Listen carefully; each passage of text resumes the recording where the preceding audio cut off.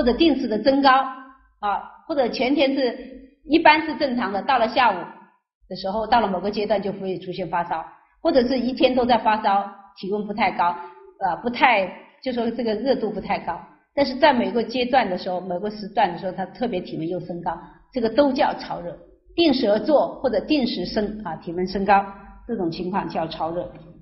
这种潮热的原因是由于燥热内渗，同时它的津液不足，而且邪结逐渐往里边啊加剧加剧啊，不能这个热是不能散发出来，而且局限啊就逐渐逐渐的局限起来。由于主要是考虑到它的津液的不足，脉滑而急啊，急脉硕脉。反映它热盛，但是这种邪燥结呢，还没有承气汤、大承气汤那么厉害，所以经伤有，但是不太重啊，跟调味承气汤有所区别。所以用小承气汤，我们讲清下，清下热结和胃气。后面讲的一部分呢，是讲的呃，用大承气汤来试探，因与承气汤一生啊，腹中转气者，这个转气是讲的转死气，我们讲的肛门排气啊。更复一生，就说明它有燥湿内结，呃，这个攻下力量还不够啊，所以这个时候再更服啊，再喝承气汤。若不转气者，这个时候如果说没有排气了，那就是有两种原因，一种原因就是我们的病重药轻，药力不够；还有一种原因就是它的津液真正是肠道津枯，你单纯的攻下不行。啊，乌根与之，明日又不大便，脉反微涩者，这里特别讲到这个涩脉，这个是强反映了邪实而正虚，这个时候攻邪伤正，扶正又练邪，为难治也。所以这个时候不可以承气汤，不可以调味承气，也呃不可以小承气，也不可以大承气，可以用什么呢？我们考虑可以用针叶汤，后世的温病的针叶承气汤都可以考虑，对吧？又通腑又能够养阴，包括后世的温病的黄龙汤啊，能够益气的基础上再来驱邪、再来攻下都可以。但是单纯的用攻下法是不行的，因为它已经正气有损伤了。所以在这里的关键词啊，肝郁发潮热，这是它的一个特点。但是它的脉是滑而急的脉，跟成大承气汤证的脉象又有区别。所以这条原文。谈到了这个一个比较典型的小承气汤症啊，当然它应该还有大便。我们还说，呃，它里边还省略了一些症啊病症，比如说不大便、不胀满啊，这个热是潮热，脉是滑急的脉，甚至还有神风沾雨的情况。但是如果遇到有虚的情况，这个时候就特别要谨慎啊，不能单纯的用攻邪的方法，要斟酌的考虑。所以张仲景说，不可跟与啊，不能再单纯的与承气汤。最后，小承气汤证还有一个二百五十条，二百五十条，我们看看，二百五十条就是特别强调了伤津制燥啊。由于若突若下，若发汗后，你看看这些都是呃导致精液上损伤的一个原因啊，尤其导致了阴伤，阴伤制燥，再加上本身啊最前面讲的太阳病由太阳病传过来，太阳病怎么传来的？往往由于治不得法，导致津液的损伤，再加上病人本身属于燥热的体质，往往容易伤津，很快的迅速的燥化。病人出现有微烦、小便数、大便阴硬。这个小便小便数、小便偏盛，我们说也像我们讲的多汗的含义是差不多的，也是一个热盛颇经外泄。我们平时热盛颇经外泄是病人多汗，在这里也可以出现一种小便特别多。啊，也是一啊归结在热啊热盛的原因。那么由于小便数的话，又加重了燥热的形成，所以大便阴硬与小承气汤合之愈。所以小承气汤我们讲还是它属于一种倾下，所以它的这个我们讲的它的攻邪力度还不太不太峻猛，所以还是偏于一个清和的，用小承气汤来和调和。这也是一种合法，合法不单单我们说补也和驱扶正也是和，扶正为了驱邪，驱邪也是为了和，驱邪为了扶正，最后达到阴阳自和者必自愈。我们前面讲的是这个啊，讲的太阳病的愈后的道理是一样的。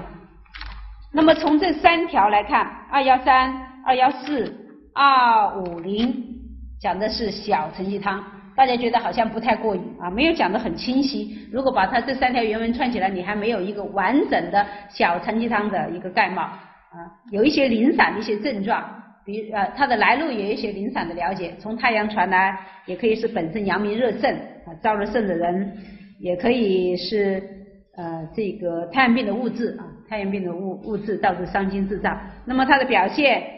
有这个沾雨发潮热、脉滑而急，还有呢，病人有出现用了这个，呃，甚至还可以出现小便数啊、大便大便干、大便硬等等这些症状。我们刚才讲的单纯从条文看不到全面，我们后面要做啊做这个整理的时候，把它归纳起来的时候，我们再一起来探讨。所以把这三条先过去，只知道。调味啊，小承气汤属于清下法，由大黄、芒硝啊、大黄、厚朴、枳实三味药组成。大黄用到四两，呃，枳实用到大的啊三枚，然后厚朴的话用到二两。那么大黄的剂量很大啊，用到四两。我们调味承气汤呢，调味承气汤的大黄用到也是四两，但是它是用清酒洗，所以我们《伤寒论》里边用清酒的有三处。当归四逆汤、当归四逆加吴茱萸生姜汤是要用清酒的，呃，炙甘草汤是要清酒的。这里调味承气汤的大黄用酒来洗啊，清酒洗。那么这个用酒洗啊，我们说大黄的话有，可以说生用，也可以自用，也可以像这里酒洗的话，应该说加强它的这个温通、这个通啊温通的作用。大黄本身是一个很好的活血的药啊，我们在活血化瘀药里边，它是放在最强的那一档活血化瘀药里边，嗯，所以大家不要拘泥它就是一个功效。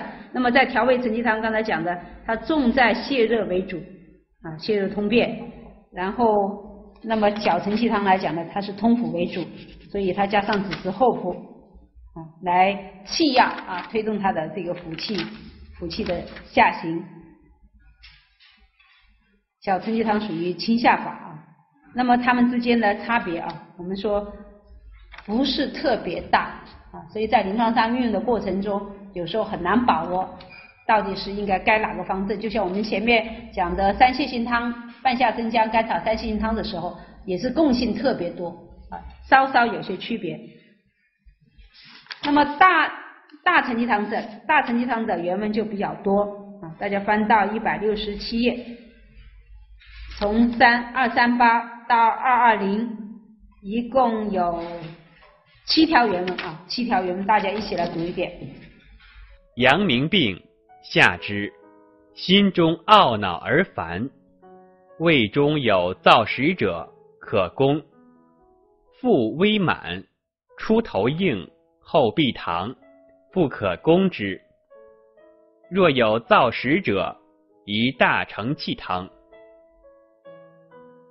大承气汤方：带黄四两，酒洗，后破半斤，炙，去皮；枳实五枚，炙；芒硝三葛，上四味，以水一斗，先煮二物，取五升，去子，纳代黄，更煮取二升，去子，纳芒硝。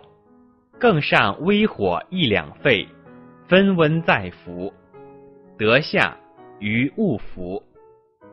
病人不大便五六日，绕其痛，烦躁，发作有时者，此有燥使，故使不大便也。阳明病沾雨有潮热，反不能食者。胃中必有燥食五六枚也。若能食者，但应耳。宜大承气汤下之。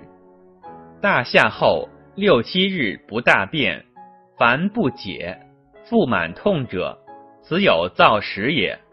所以然者，本有素食故也。宜大承气汤。病人小便不利，大便乍难乍易。时有微热，喘冒不能卧者，有燥食也，宜大承气汤。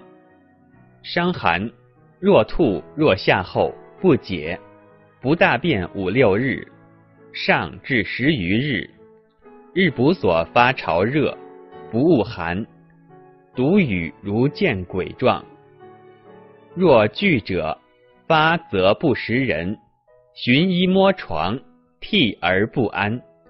微喘直视，脉弦者生，涩者死。微者，但发热沾瘀者，大承气汤主之。若易服利，则止后服。汗出沾瘀者，已有燥屎在胃中，此为风也。虚下者过经，乃可下之。下之若早，语言必乱。以表虚理实故也。下之欲宜大承气汤。二阳并病，太阳正罢，但发潮热，手足折折汗出，大便难而沾瘀者，下之则愈，宜大承气汤。好，大承气汤的条文啊，七条比较多，讲的比较详细。啊，前面的是小承气三条，调味承气三条。我们先一条就来串解一下。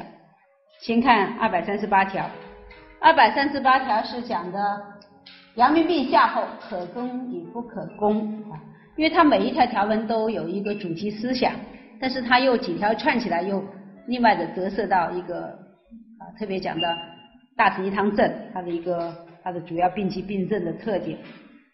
阳明病下之，心中懊恼而烦，胃中有燥食者可攻。阳明病下法是没错的啊，但在这里下了以后，病好了没有啊？没有好，心中懊恼而烦，心中懊恼而烦，我们在哪里见过呢？知子此汤。对了，所以我们说知子此汤症往往是呃，它可以来自阳明，就是阳明病燥实内结。用攻下法以后，燥热燥屎去了，热还留在里边，余热留了胸膈，所以出现心中懊恼而烦。除了懊恼而烦以外，张仲景说这里胃中有燥湿，这个胃中当然不能拘泥啊，这个应该是讲的胃肠，尤其是讲肠。我们哪有胃里面有燥湿呢？对不对？那胃里面有燥湿，那吐出来那就那就糟糕了，那就是高位的肠梗阻。所以这个胃中应该是指的肠中有燥屎。什么是燥屎呢？我们教材讲的是结聚肠内异常干结的粪块。这里有个疑问，是不是这么简单？就是一个燥，我们讲的这个干结的粪块，可攻啊。腹为满，出头硬，后鼻溏，不可攻，可不可攻啊？燥湿内结，当然我们说有些病人会讲，这个大便拉出来很难的，而且拉出来还要像羊屎一样的一粒粒的。啊，那这个肯定是燥死，有些甚至还拉不出来，还要借助力量啊把它抠出来。如果是有一些病人呢，脾虚的病人也可以出现大便有点啊很久不排，但是拉出来的时候出头硬后鼻溏，因为时间比较长了，水分吸收了，吸干了，前头一般头比较硬，但是他的小肠的吸收能力下降，我们说脾虚，所以他还是后面的大便拉出来是稀稀烂烂的，这是脾虚的一种特点。但是真正属于阳明热盛的，他不会啊，他就是就燥屎。所以一个尽管都有不大便，也有开头都有硬，但是一个是整体是硬的，一个是先硬后溏的。那么一个虚一个实，那么治法是不一样的，一个要攻，一个不可攻。若有燥屎者，宜大承气汤，就说明大承气汤的运用啊，主要是用于燥湿内结啊，风风足这个燥热为主的，峻下热结为主的，这是。二百三十八条啊，讨论的是两个问题：怎么辨识燥屎可攻不可攻？但是它特别引出来了承气汤的运大承气汤的运用是跟攻足燥屎的。好，我们看看二百三十二百三十九条啊。那么大承气汤方大黄四两，前面的三承气汤的大黄的剂量是一样的，但是呢后铺啊。一个是用到二两，这里用到半斤。子时小承气汤是用到三枚，这里用到五枚，还加了芒硝啊，芒硝三个。是什么样啊？先煮二味，大黄厚朴。啊，先煮二味是指是厚朴先煮，去籽，然后大黄，那大黄就说明大黄是后下。我们平时都会说大黄后下，更煮起二升去籽，辣芒硝更上火，啊，微火一两沸。所以芒硝差不多是冲服啊，稍稍在火上一两沸就可以了。风温再服，得下于物服，说明大承气汤重病积食，对不对？大便一通就不要再喝了。所以张仲景对于承气汤的运用，他是很谨慎的，他是很怕它损伤正气，重病积食。病人不大便五六日，潮热沾雨有潮热，这个跟小承气汤症有点相似，反不能食。胃中必有燥屎五六枚也，不能食。若能食，但应了一大承气汤。能食不能食，啊，这边特别提出来了这样一个问题。二百三十九是不大便绕脐痛啊，烦躁，发作有时，特别谈到了他这个腹痛的特点是绕脐痛，说明这个邪气的比较深啊，位置比较深，比较邪结比较集中。由于大承气汤症热盛啊，经伤，尤其是经伤比较盛，所以它不能全身做汗，也不能全身的发热，只能定期的潮热，而且这个邪结的在局部的症状比较重，所以我们从这个小承气汤应该服大满不通，那是小承气汤的特点，而大承气汤啊，这里讲的是绕脐痛、烦躁、发作有时，这个也是反映只有燥死。所以我刚才留了一个留了一句话，大家去想一想，燥屎的含义啊，在这里它是讲的字面上理解是一个寄居的地方有干结的粪块，是不是这么回事啊？因为张仲景讲燥屎的时候，往往就代表了承气汤，大承气汤。一讲燥屎，故不大便，其实这里就提出来应该用大承气汤来治疗啊。阳明燥湿啊，这个腐蚀燥湿类结，而且它的症状的特点。绕脐痛啊，关键词绕脐痛，而且这种发作是有时的，阵发性的啊，也说明一个正邪的交争。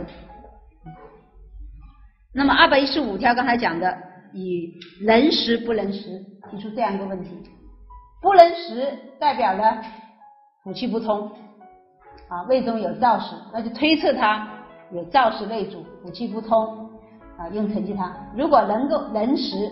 病人能进食的话，说明他这个腐腐食不具，所以这个时候应该说就不是大承气汤了啊。应该说按照道理讲的，病情轻一些，应该是用小承气汤，可以小承气汤来清啊清下应变。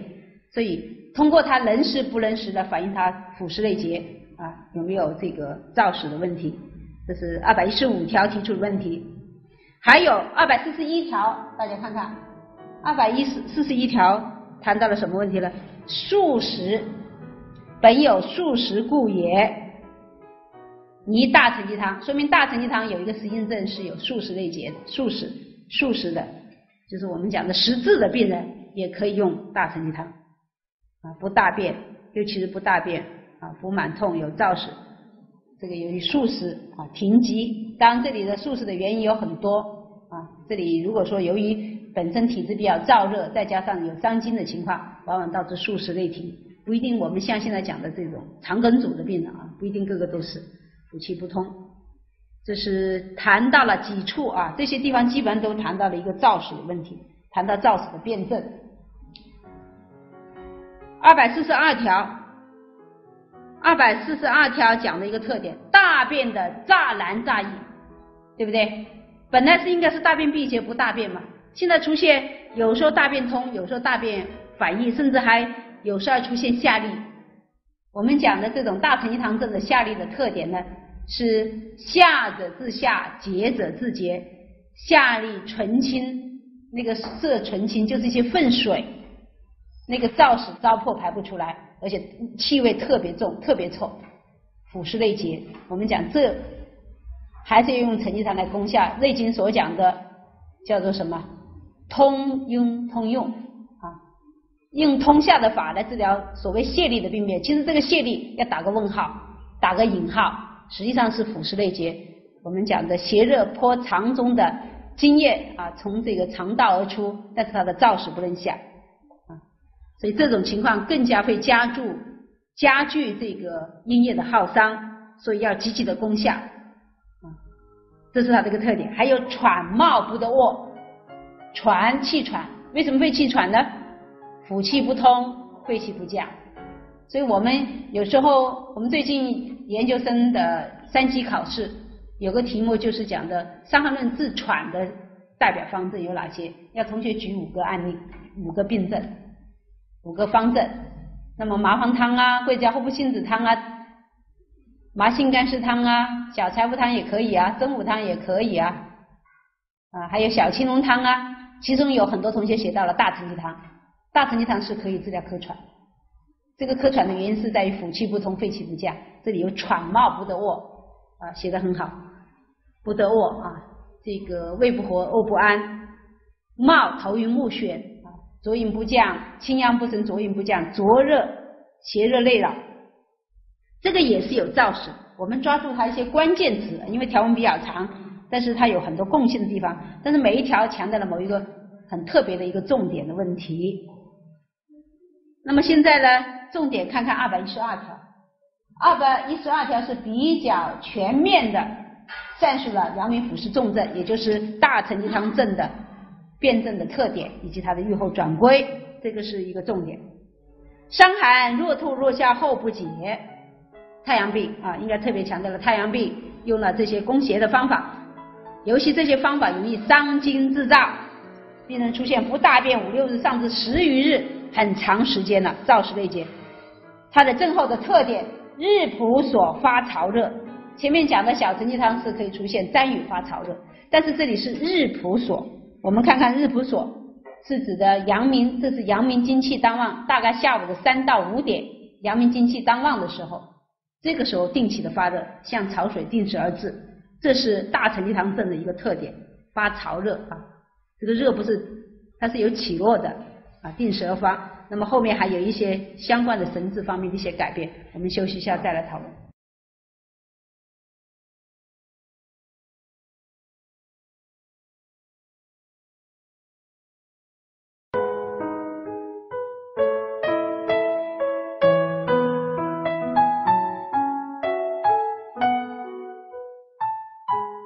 刚才讲的那个案例啊，就是我昨天、前天研究生班的讲课。刚才这位同学，我刚才跟同学讲了，他这个都在我的短信，在我的手机上面。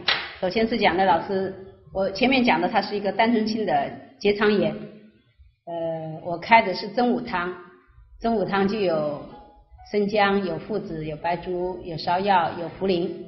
还加了一个像附子理中啊，那就用了一点干姜，有甘草，有用了党参，还加了一点黄连。其实上我就是一个呃起一个寒门病用。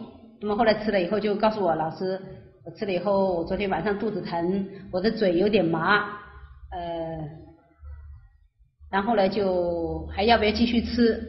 我跟他回的短信，我就说你附子。要十克嘛？我说你要先煎半小时，呃，三剂喝完。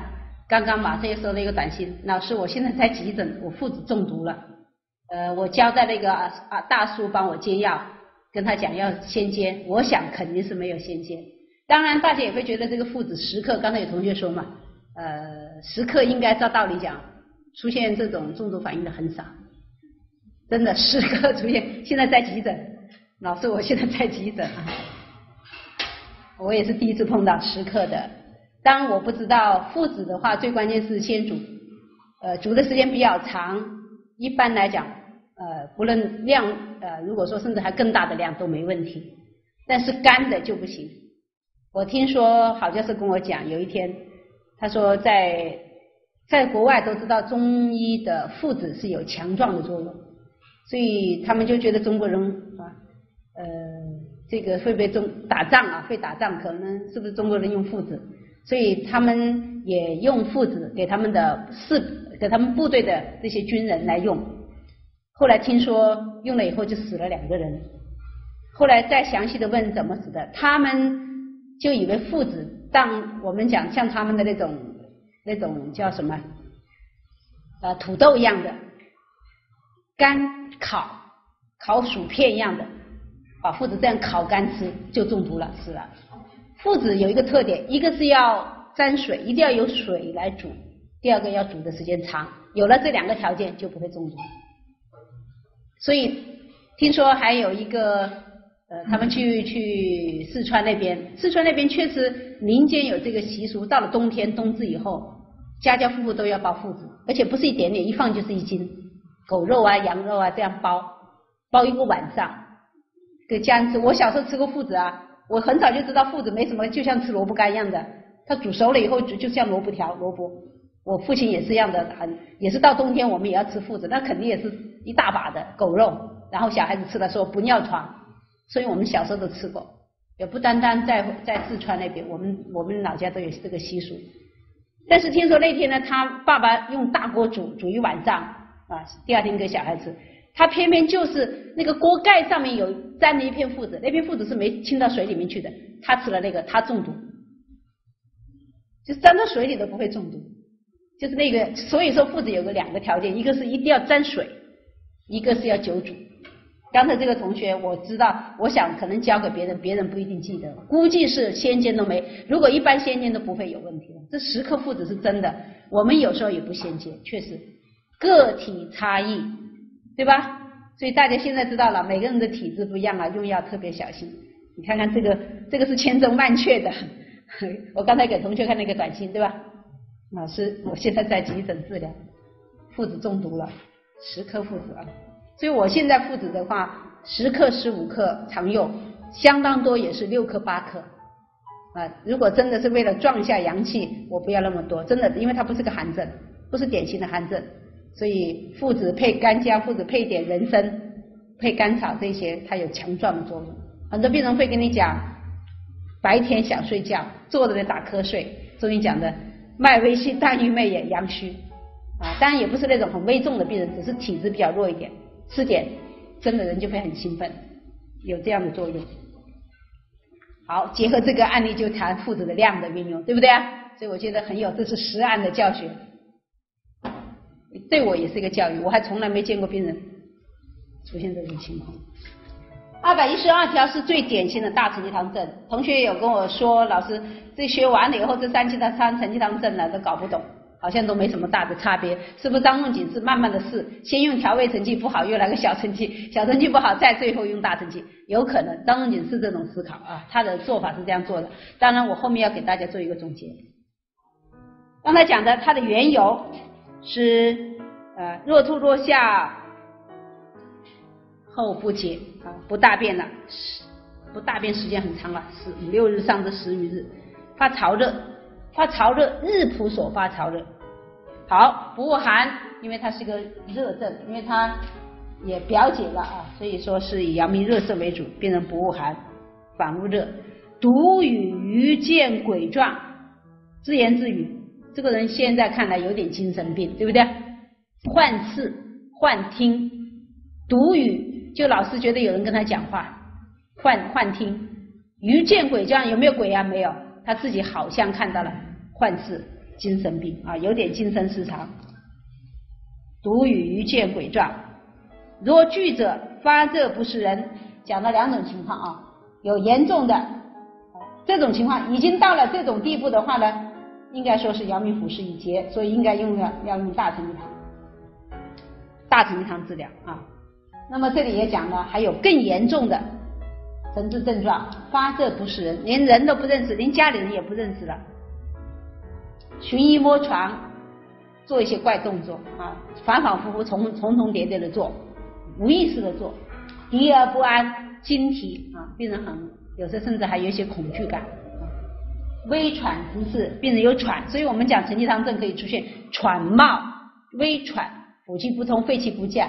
甚至呢还会出现直视、目睛、目中不了了、睛不合啊、视物不清。一个是他自己觉得看东西不清楚，还有的就是他人觉得这个眼球好像不会转动啊，发呆了。这是一个啊精气，我们讲的肝肾啊，这个津液的亏耗，阴不炼阳，神不守舍，阳热抗极的一个表现。尤其是我们讲的经济的啊肝肾的阴经的耗亡，所以导致呃目睛失养、心神不啊心神失养以及邪热破肺啊烦躁不安、热郁心包等等这些症状，这是很严重的情况啊。前面那个就是一个大承气汤症的一个典型的脉症，后面是讲更加严重的表现会怎么样。好，接着呢就讲他愈后了。这样的重病号愈后是不良的。这里的玄代表了阴气犹存，啊，色呢代表阴气已经衰竭啊，所以我们说色如啊刀割这个什么呃这个志色不通。往往是精血不足，阴血啊阴气的衰衰竭。其实这个玄和色还有另外一个含义，玄和色来讲呢，血脉是实脉，色脉呢是虚脉。一般来讲，病情很危重的、很重的情况下，应该是实症见实脉；而虚弱的状况，应该是虚症见虚脉。我们讲的脉症要相对。如果是一个实症见到一个虚脉，说明正气是啊正气耗耗伤；如果是一个实症见实脉，我们讲的邪盛，但是正气不衰，正邪能够抗正啊。虚症反过来也是一样的，正气虚，如果脉很实，代表邪气实，这个不代表好现象。所以从这个角度来讲，从虚实的角度来讲，也是反映它的愈后的啊脉象的虚实不同，愈后的转归不同。当然，脉弦则生，色则死，会不会死呢？现在不一定死了，现在有很多的救治的方法，但是应该说它的愈后不良。啊，好，这里就讲到这里啊，讲到这个愈后。那接着前面来讲，那么后面若聚者，那么前面反过来就是不是啊，不是聚的，就是我们所谓的微者，并不真聚的情况啊，就是出现的日晡潮热，呃，独鱼见鬼状，还有呢，但发热沾瘀者，这个发热讲的日晡所发潮热了，已经讲了，还有了神风沾瘀这种情况，大承气汤主之。你看看，提出了大承气汤的主要的适应症。若一服利，则指后服。虽然用大承气汤，我们讲的荡啊荡热泻实，但是它毕竟是一个攻伐的峻剂，所以重病即止。这里讲的子后服，说明张仲景非常的谨慎。二百一十二条是比较典型的大承气汤症，而且还有更重的情况以及它的预后。那我们下面再继续的看看二百一十七、二百二十二条。二百一十七条是讲的辩证啊，怎么辩呢？汗出沾雨者，有燥湿在胃中，此为风啊。这里讲的这个风是讲的太阳，讲的太阳，阳明兼见太阳。阳明兼见太阳怎么治疗？需下之，过经来可下之。就是太阳和阳明合并或者是并病的情况下，应该是先表后里。过经过太阳。太阳表邪消除了以后，只有阳明热症的时候，阳明实症的时候，这个时候才可以攻下。先表后里，过经啊，这个词要掌握。什么叫过经？过太阳传阳明了，乃可下之。下之过早啊，必语言必乱，以表虚理实故也。这个时候，如果是没有按照先表后里的原则，而用了下法引邪内泄，同时。伤了正气，这个时候应该说啊，愈后不良，表虚里实。下之愈以大承气汤，这个是一个倒装蒙法，本来是过经乃可下之，接着就是下之则愈以大承气汤，后面才讲如果下的太早会怎么样。所以我们说张仲景治疗伤寒的承气汤，这用承气汤的时候，他是很谨慎的，因为像他特别强调的这个表里的顺序。先表后里，有表当行解表，下肢过早不行，下肢过晚行不行啊？也不行。就是大承气汤的这个弱聚者，就说时间拖得太长的话，导致阴经的耗竭，就会出现前面的讲的啊，发热不食人，寻阴摸墙，第二不安，微喘之势，那就是差不多要要命的了。提出了一个兼太阳怎么处理，二阳并病。好，我们讲的合并并病的概念不是我们人为想的，是仲景的原文就有这样一个词，所以我们把它提出来。二阳并病，所谓并病就是太阳病，太阳和阳明，太阳正罢，一经正后未未罢，又出现另一经的正后，我们讲的病病啊。当然这里是讲的有个先后顺顺序的问题，有太阳与阳明，那么先太阳后阳明，而太阳好了，后面呢只有阳明了。但发潮热，手足啧啧汗出，大便难而占欲者，下子得于大承气汤。一个是讲的太阳明合并的情况啊，应该是先表后里。第二种呢是病变的情况，表解了，这个时候当然要公理，呃，也是用大承气汤，而且也补充了很多大承气汤的是啊，它的脉症，比如说手足啧啧汗出，这种啧啧汗出，我们讲的本来是像桂枝汤症的发汗的一个标准。就是啧啧连绵不断的微微的汗出，这是发汗的一个方法。那是讲的太阳桂枝汤症的运用的时候。那么在这里是讲的里热颇经外泄，这种阳明热盛颇经外泄的特点，它是连绵不断的汗出。啊，好，这个七条讲完了啊，讲了大承气汤症二三八。二三九二幺五二四幺二四二二二幺不止了八条啊七条七条七条原文啊好这是一个段落讲的大承气汤而且大家有个印象讲大承气汤有一个它的典型的脉症二百一十二条也有更重的以及它的预后转归以及见太阳怎么来处理还有大承气汤的辨识的一个最关键的一个环节就是辨有没有燥湿对吧？有燥屎肯定是大承气汤。好，接着后面呢就是讲的急下啊，阳明三急下症。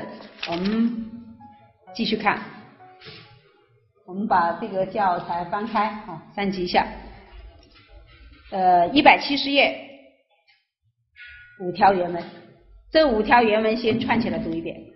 伤寒六七日，目中不了了，经不和，无表里症，大便难。身微热者，此为实也。即下之，宜大承气汤。阳明病发热汗多者，即下之，宜大承气汤。发汗不解，腹满痛者，即下之，宜大承气汤。腹满不减，减不足言，当下之，宜大承气汤。阳明少阳合并。必下利，其脉不复者为顺也，复者失也。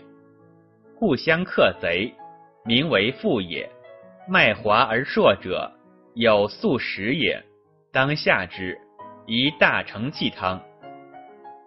我们讲的阳明三急下症，这里讲到有三个急字啊，急下。我们伤寒里边有九个急字，阳明三急下。少阴有三急下，还有急当救表、急当救里两个急，最后还有一个少阴病脉沉者急温之九个急，整个伤寒论九个机制。我们先来看看二百五十二条，二百五十二条突出的症状啊，我们来分析一下。这里特别讲到急下的话呢，我们特别强调了急下是手段，有一个词叫做急下存阴啊，急下存阴。急下是手段，纯阴是目目的。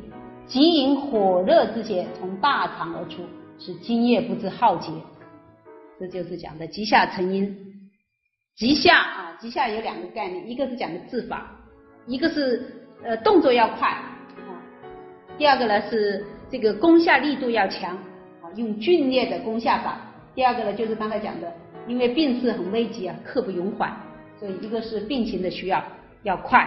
第二个呢，要重重拳重拳的出击啊，这个出击的原因呢，主要是不要看表面上好像很轻微，但是实际上津液岌岌可危，因为阳明是主燥经，津液的成亡对于它的愈后转归是至关重要的啊，燥化容易伤津啊，容易热化，反过来热盛的话耗精的话也是啊，进一步的加重了病情。五二百五十二条，我们来看看二百五十二条的关键词在哪里啊？伤寒六七日，目中不了了，经不和，这些词都要掌握的啊。名词解释，目中不了了，张仲景好多地方讲的了了，风家不了了，病十二日愈，不清爽啊，在这里是事无不清，也是看得不太清楚，模糊，经不和。眼球的转动不灵活，这个眼球转动不灵活，说明了一个什么问题？说明了阴经的耗竭啊。呃，有些人讲的这个经不合是医生的望诊，病人的目光显得比较呆滞啊无神或者出现这种凝视，是一种肝肾损伤的一种表现。当然，也有人说是一个呃病人的主诉啊，病人的症状是说自己说事无不清，所以这两者结合起来，目中不了了啊，经不合，无表里症。这里讲的表里症啊，特别讲的应该是指的里症啊，没有里症，没有这个腹满、疼痛这些。大便难，身微热，此为实也。你看看这张仲景讲的实，往往是讲的邪气盛实啊，这个实是邪气实。大便难，腹实内结有微热，由于它燥结比较深，位置比较深，所以它肌表不热，不代表它真的没有热。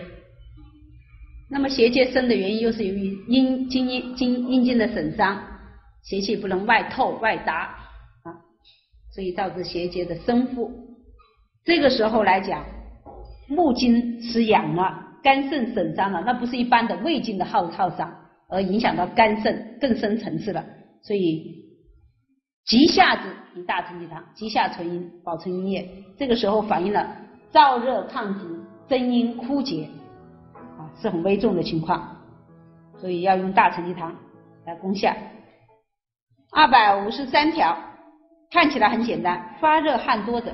那么前面的条文都涉及到发热，但是阳明的汗多不多呢？就难说了。阳明气分热盛是汗多的，刚才讲的急急啧啧汗出也可以。一般来讲，气分热是有汗，那么腹实内结的话，一般汗相对比较少。为什么？这个汗少是反映他津液不足，不能全身出汗。调味承气汤可能还有，到了大承气、小承气、大承气，这个汗就比较少了。这里的汗多不好。已经津液不足了，然后还大量的表啊，我们讲腠理的开泄，阳气的大这个津液的大泄，预示着他未来啊，应该说是愈合不良的。所以这里热是强调了持续的热，前面的潮热是不一样的。第二个呢，这种汗是指的汗多，大汗淋漓，里热抗体啊，逼经外亡。所以这种情况其实也是不要看似轻描淡写，其实它的深深刻的含义。预示着这个津液的耗伤，这个非常重要。二百五十四条，腹满痛者，这个腹满痛不要小看，因为三承气汤都有腹胀满，都有疼痛。这里应该强调了怎么样？比较快，很短暂的时间，由于物质以后，这里讲的发汗不解，这个发汗是指的太阳病，太阳病用汗法不解，很快出现这个腹痛的话，愈合不啊，这个说明它来次的太快。啊，病程短，发展快，病情重，而且这个疼痛剧啊，这个也是愈后不好，所以这个时候要积极的啊，急下，积极的攻下。所以这里讲的三急下症啊，二五二、二二五三、二五四这三条，除了有阳明腑啊腹湿内结的病症以外，最最关键的是它的津液阴经将要耗亡，或者是病势来的太急太快啊。所以我们讲的急下存阴啊，急下存阴，急下是手段，存阴是目目的。而且急下存阴的话，急下法的运用呢，它还是有条件的，不是说所有的病都叫做急下。首先，它有燥热啊，我们讲的阴阴经的重伤，还有一个重要的问题，它应该有阳明腑湿症，有可下之症。如果它的病位不在下家，在别的地方，那就不是靠下法了。所以一定它确确实实有这个燥湿内结。有大便不通，那我就因势利导，借这个通腑的作用，把邪热引火热之邪从大肠而出，来挽救这个津液。所谓釜底抽薪啊，这个津液枯了，一个方面呢是补津液，但是我们说杯水车薪啊，这个时候搞不定啊，压不住火势，那么最好的方法把这个火熄掉，这个津液就不会熬熬干。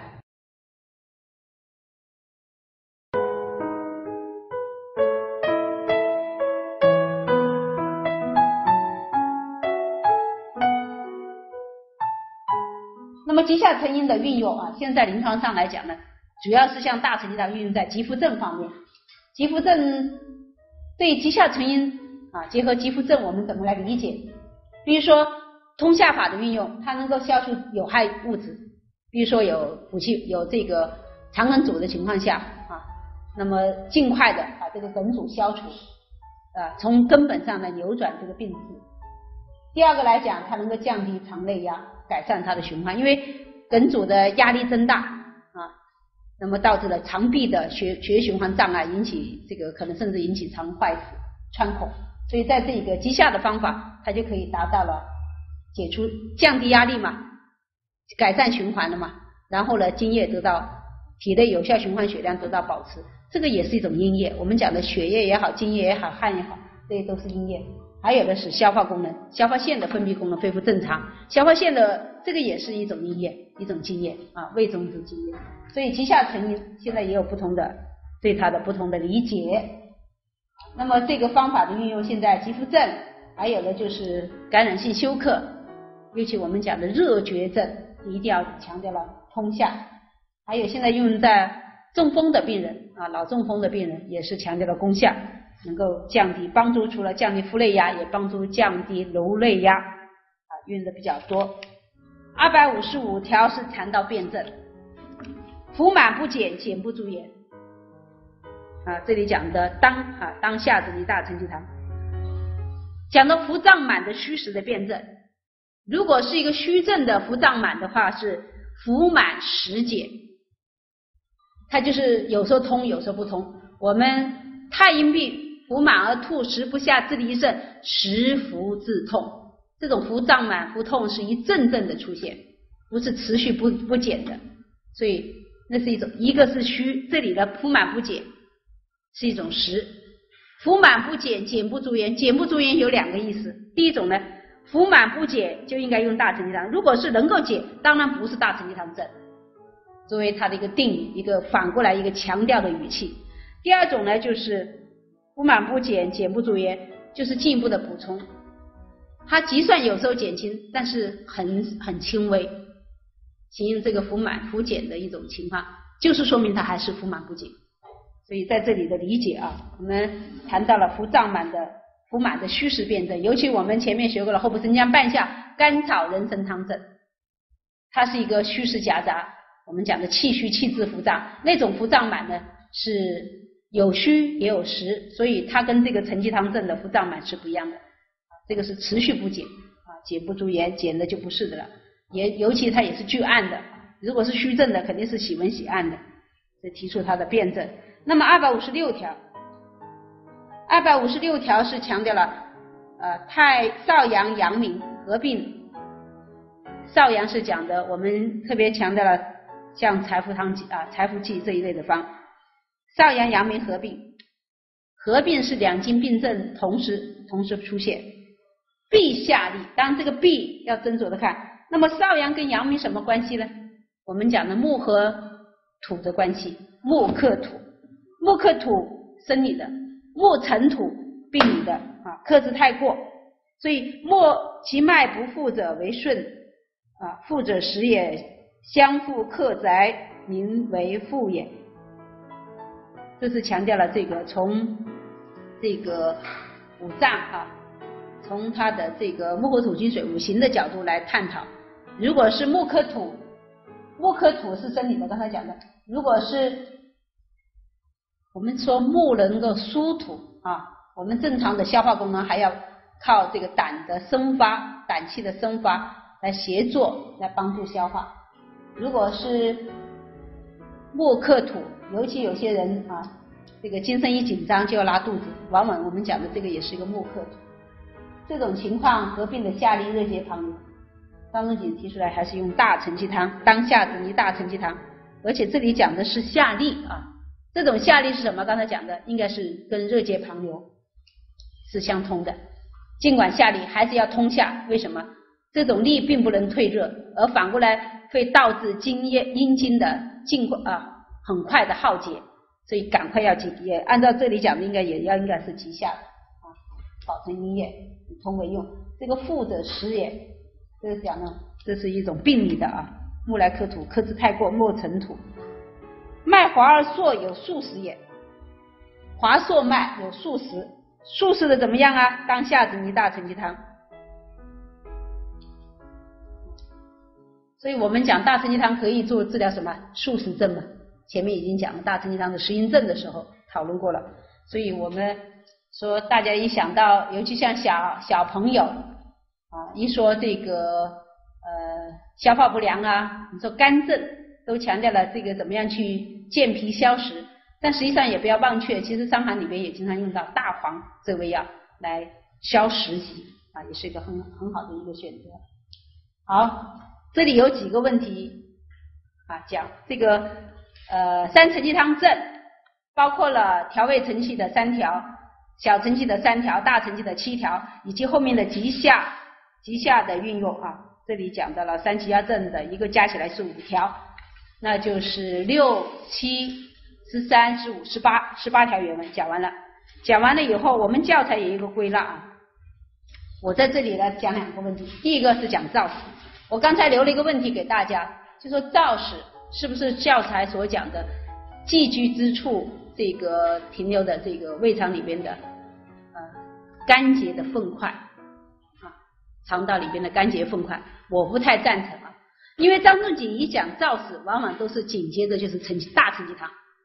所以应该，我认为它是一个大承气汤的一个代名词，而大承气汤症呢，不单单就是个大便干结的问题，大便干结就有了后面麻子荣胺大便干结，后面的这个不大便，就是我们讲的要润道法的，它也有大便不通，是不是都要用大承气呢？肯定不是，所以它除了大便闭结以外，还有全身的毒血症的反毒热的反应，这个最重要。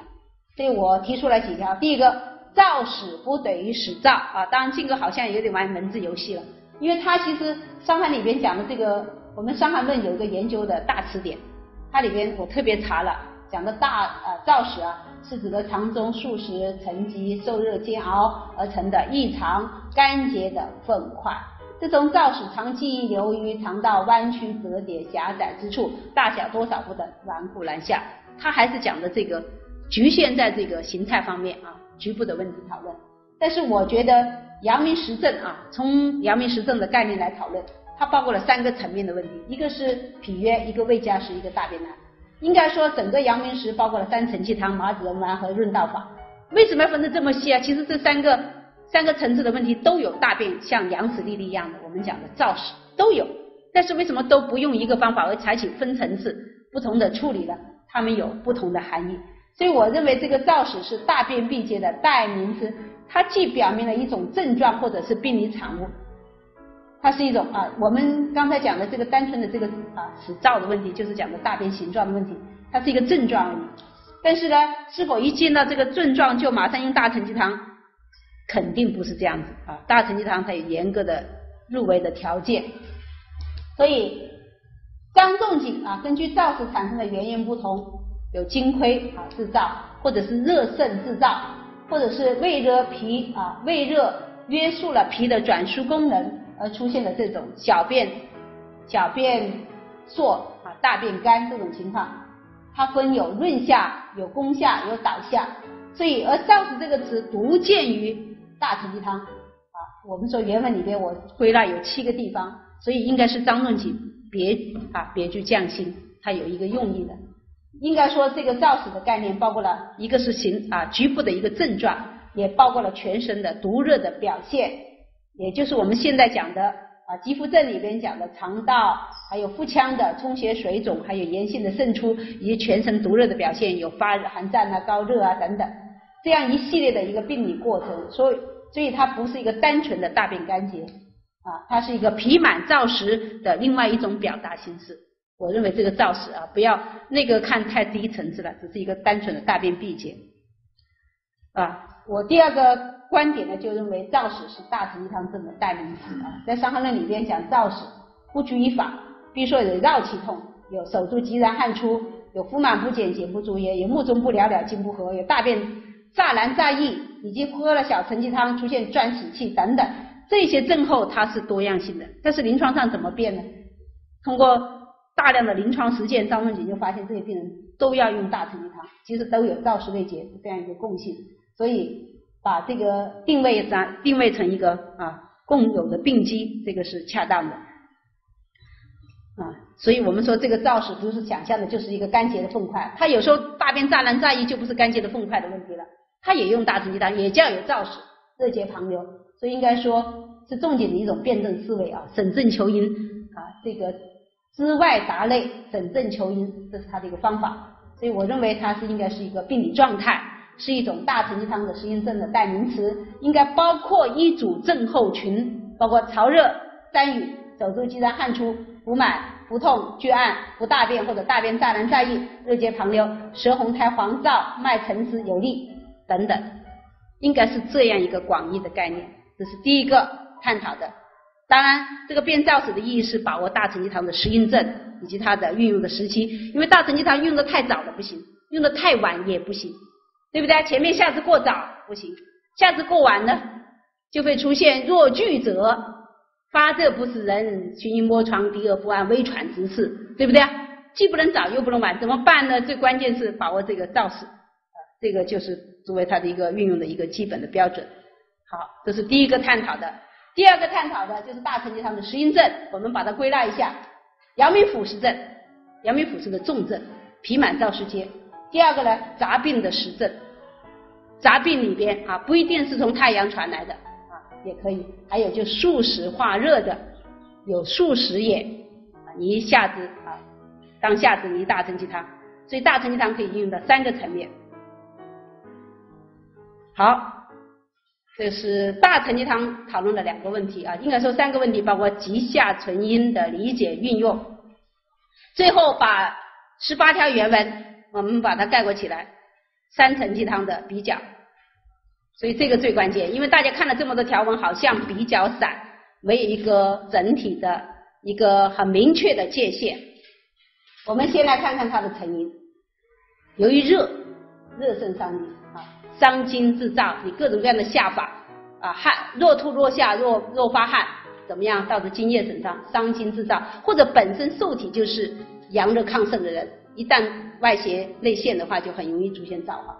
阴燥成实，这个邪热跟阳明的糟粕相搏结，所以这个是一个共性啊。第二个呢，症候的特点，第一，它必须有全身的毒热反应，毒热内盛，就前面讲的。一定有寒热啊，尤其是有发热，真正发热也好了，你的潮潮热也好，日伏潮热也好啊，甚甚至还有心烦呐，还有神志的改变啊，纷纷啊，沾雨啊。第二个呢，它一定有局部的实症的表现，那就是腹胀满呐，疼痛啊，腹满腹痛，不大便，一定有局部的症状。我们讲的燥湿内结，这是共性啊，不同点。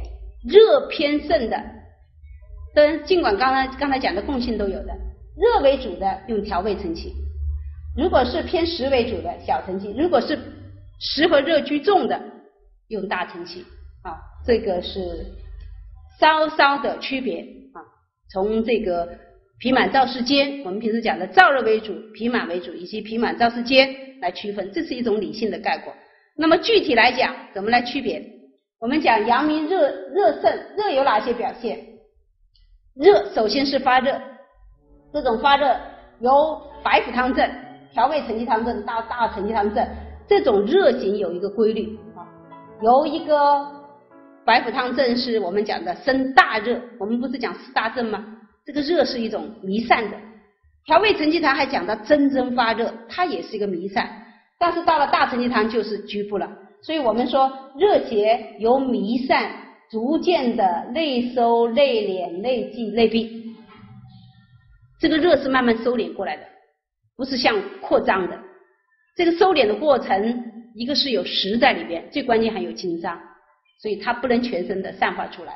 所以这是一个热有一个症候的移行的过程。第二个汗的特点，这种汗呢，不是白虎汤症那种汗，承气汤症的话，往往因为它津液相对啊不足。啊，不是大汗，它是连绵不断的小汗出，啧啧汗出，有热有汗，有精神症状，啊，精神神志症状，心烦啊，沾雨啊，懊恼啊，甚至独语见鬼状，热扰心神，热汗精神症状，还有其他的症状，可以波及到其他的脏腑，比如说影响到肺，微喘，可以影响到上焦清阳，我们讲出现这个头晕目眩，还有呢，影响到肝啊，肝开窍于目，病人出现目中不了了，津不和，影响到肝肾，就是上能够破肺，上能够扰心，下能够啊暗耗阴啊肝肾之阴啊，这是一个热的一个表现。腹部的症状，它们还是有区别。调味承气汤症的特点呢，它们都有腹胀满，我特别谈到了调味承气汤，其中有阳明。啊，这个出现腹胀满者宜调味承气汤，说明这个摆在这里不是不是随便的啊，就是大家不要忽略调味承气汤热盛为主，但是它脾满也是同样的，伤寒吐后腹胀满。但是相对来说啊，这个小承气汤的腹胀满是最厉害啊，它是很厉害，腹大满不通。而大承气汤的腹胀满的特点，原文描述了腹满不解，解不足言。而且腹满还兼有腹痛，啊，是一个绕脐痛，腹部的症状。大便的情况都有不大便或者是大便硬，但是有时候会出现热结旁流，啊，下利清水涩纯清，这种下利的情况，跟我们像原文里面所描述的，有病人可以出现汗，可以利，可以出现这个还有多尿，这都是热盛颇经外泄的表现。热盛逼经外越，逼经下盛，逼经偏盛，都还是由于热啊，一切都由热造成的。这种情况当然最后的结果是加重了加重了这个阴液的耗伤，燥湿燥热就更加的内结。